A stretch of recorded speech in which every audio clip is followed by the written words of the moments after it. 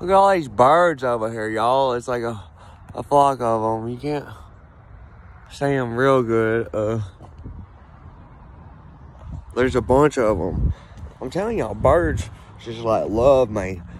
A turtle dove landed on my head one day when I was working, but they're obsessed with me. I had some kind of like visionary spiritual experience the other day at work out in the desert with Mr. Williams. A hawk was there. I was talking in tongues. It was amazing. Hawks are a sign. Everything's a sign. I'm in the desert again. That's part of the prophecy. And the land was made wasteland and bare. Isaiah or Ezekiel? I don't remember. Y'all got the Bible fucked up. Well, y'all fucked it up on purpose to fulfill y'all's agendas. Political agendas. God doesn't care about gay folks for number one. He cares about evil motherfuckers.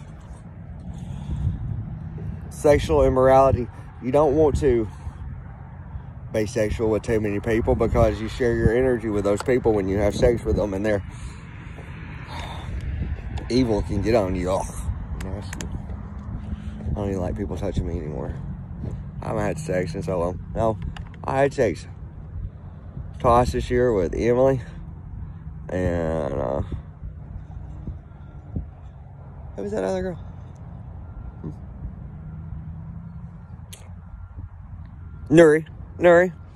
Well, I couldn't get up for Nuri. She's got a demon in her, and uh, I guess my body didn't want no part of it, but I think I still got off. I don't know. That's the first time that ever happened. It doesn't take much for me, like the wind to blow.